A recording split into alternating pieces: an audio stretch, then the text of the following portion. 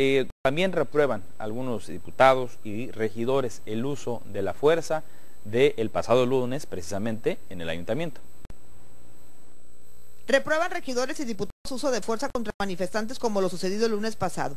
La regidora de Morena, Alejandra Anc Hernández, dijo que llamarán a comparecer al director de Seguridad Pública Municipal, Alonso Ulises Méndez. Yo hice una, una exhorto, una, una solicitud para que se, se, convocara a una sesión extraordinaria para citar al, al, director de, de, Seguridad Pública con el fin de que nos diera un reporte de los hechos acontecidos, porque no obtuvimos información oficial por parte del alcalde, de oficialía ni del director.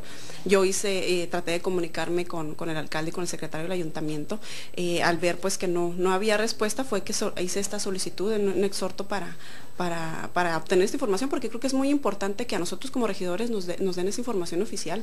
El diputado del PAN, Andrés de la Rosa, reprobó que se utilice la fuerza antes que el diálogo. La violencia desde cualquier parte, sea desde la autoridad o sea del ciudadano, pues esa creo que no es bienvenida. Yo sí repruebo que, que pudieran darse ese tipo de cuestiones, así que yo creo que lo que debe privilegiarse, y lo reitero, es el diálogo y el respeto.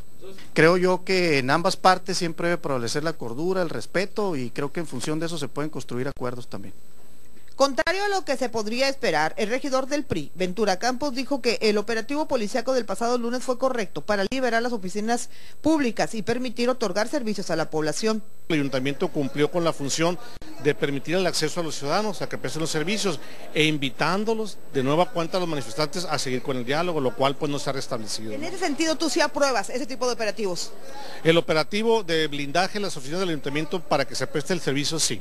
Yo creo que si volvieran a, tomar, a tratar de tomarse las oficinas o hacer un cerco humano, eh, yo creo que los manifestantes deben de ser precavidos y permitir el acceso a los ciudadanos.